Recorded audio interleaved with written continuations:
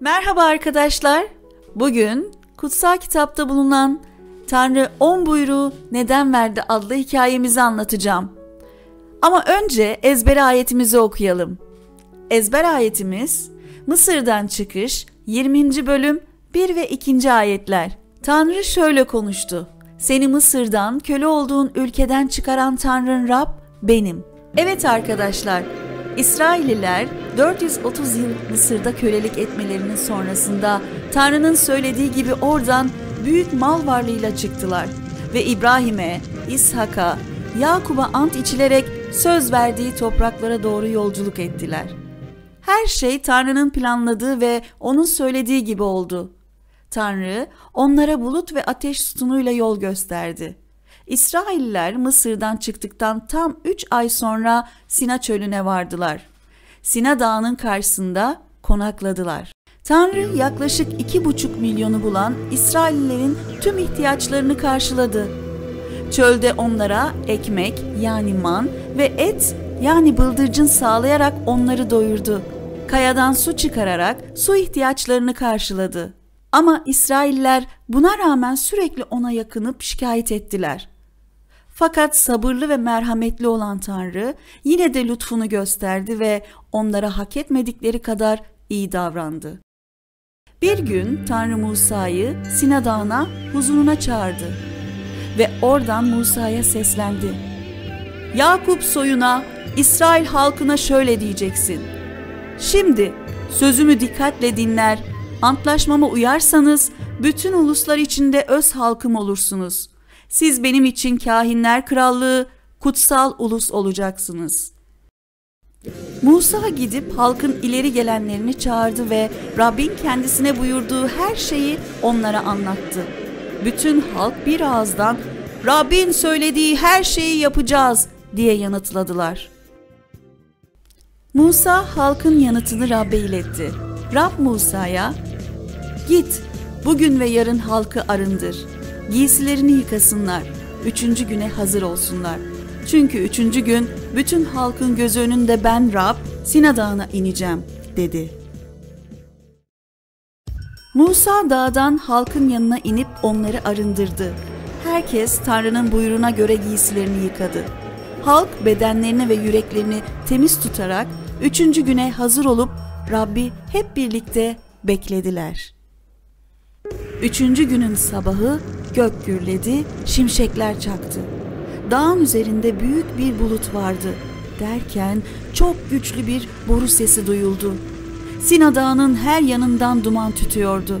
Çünkü Rab dağın üstüne ateş içinde inmişti. Dağdan ocak dumanı gibi duman çıkıyor, bütün dağ şiddetle sarsılıyordu. Boru sesi gitgide yükselince Musa konuştu ve Tanrı gök gürlemeleriyle onu yanıtladı. Rab Sina Dağı'nın üzerine indi. Musa'yı dağın tepesine çağırdı. Musa tepeye çıktı. Yalnız Musa ile Harun dağın tepesine çıkabildiler. Halk Sina Dağı'na çıkamadı. Çünkü Tanrı İsrail halkından huzuruna gidenleri şiddetle cezalandıracağını söyledi.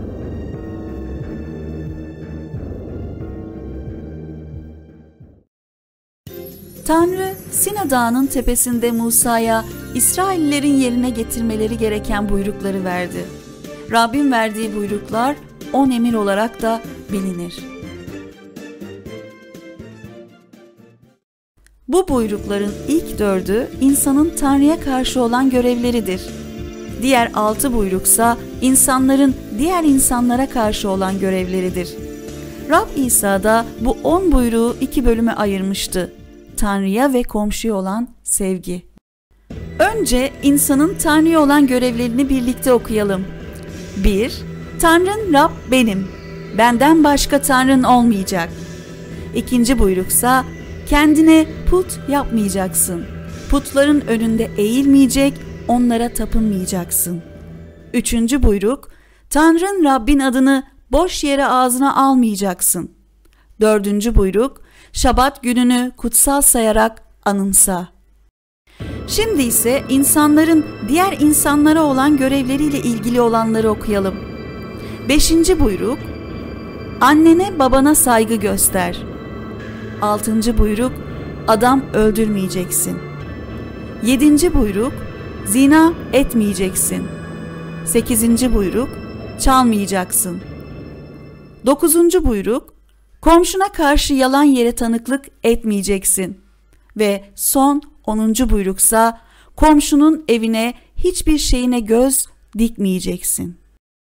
Günahkar olan insan Tanrı lütfunu ve sevgisini hak etmedi ama günahlarına rağmen insana yani bizlere önem verdi. Yaratıcı Tanrı bu dünyaya inip Musa aracılığıyla insanlara on buyruğu verdi. Tanrı bu buyruklara uymamızı söyledi.